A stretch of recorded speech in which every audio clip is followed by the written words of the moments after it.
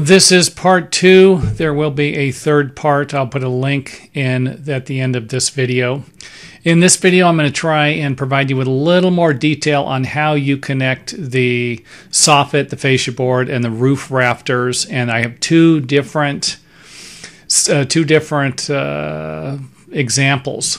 One is going to be with with exposed rafter tails, where you'll be able to see the roof rafters from underneath and the other part will be if there's actually a soffit that will be covering up the rafters or the roof eave.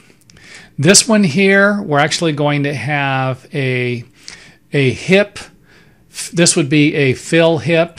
This, this hip would not go all the way up into the roof. This method of California framing or framing with fill eliminates a hip that would go all the way up with jack rafter, something like that. This is more for a room addition, even though this is common, a common method for framing.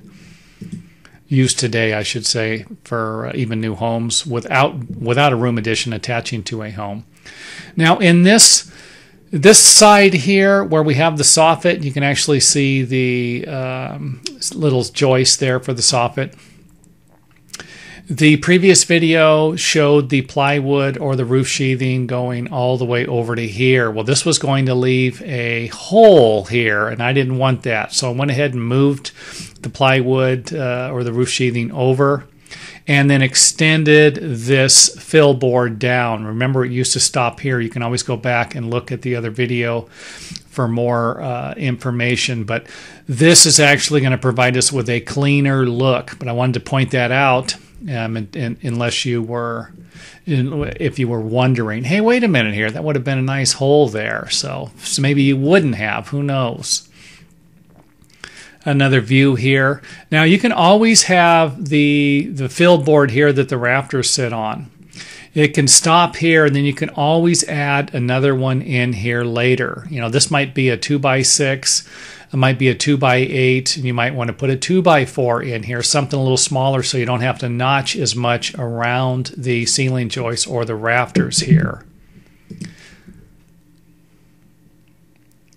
Another view, you can see the fill dying right into the roof rafter there.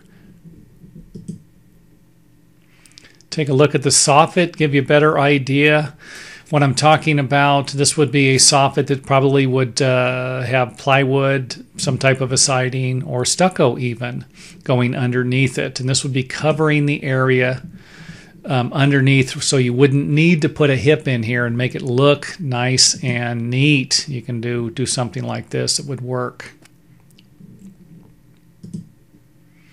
Take a look at the other side. This would be the exposed rafters with the hip fill here. Now, there's something else I want to point out. Um, it's not uncommon to actually have a rafter come down like this, and then you cut you cut you go to make your cut. Maybe you're not that experienced or you just had some bad luck and you cut it incorrectly. Well, you don't need to rip the rafter out if that's the case. Simply cut the rafter off, the rafter tail off, and install another rafter tail. And uh, sometimes this is easier for um, even professionals to do. You know, you can have you can cut the rafter off here, let's say, and then put another rafter on the other side, or have one go on the other side of the ceiling joist, or even have it butt right up against the ceiling joist or the rafter. And and and if you do, you can have the rafter go back and then you can actually just slide the rafter in until it fits nice and tight. Nail it to the or the, the new rafter i should say. Nail it to the old rafter and then you look like you're a miracle worker when you're done with that. Look like you've been doing it for years. Here's the top view the hip fill plywood or the roof sheathing.